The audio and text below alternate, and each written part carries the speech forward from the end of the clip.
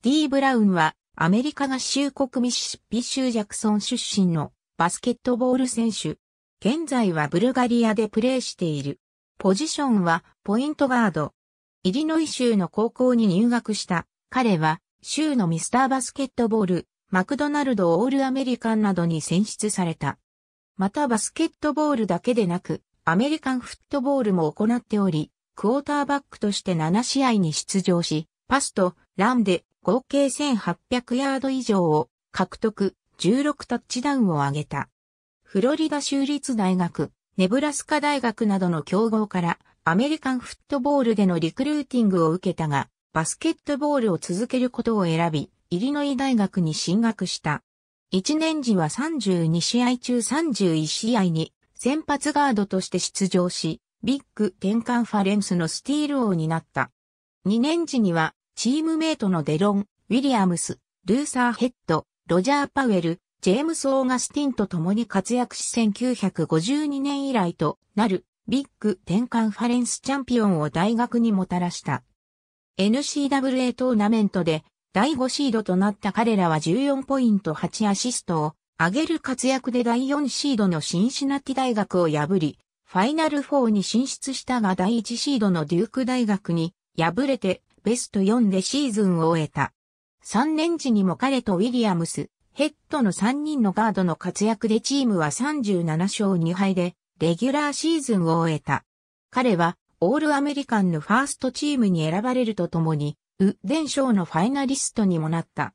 この年彼はドラフトにアーリーエントリーすることも考えていたが、ドラフト直前のキャンプで足を負傷したため、4年時も大学でプレーすることを選択した。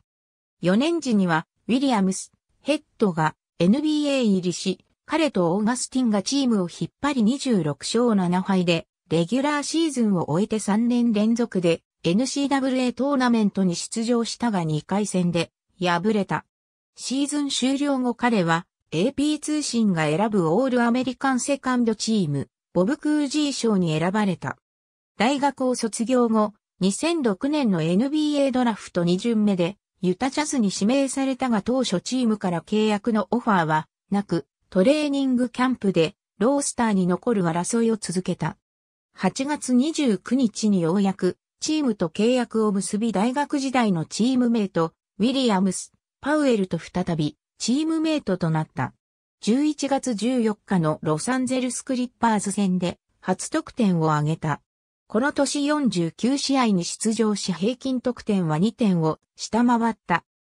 2007から8年シーズンをターキッシュバスケットボールリーグのガラタサライカフェクラウンで過ごし2008年ワシントンウィザーズに入団。ギルバート・アリーナスの負傷欠場もあり、先発ポイントガードとして11試合連続出場を果たしたが12月10日にマイク・ジェームス、ジャバリス・クリッテントンがトレードで加入し、彼はカットされた。ウィザーズでの出場は17試合であった。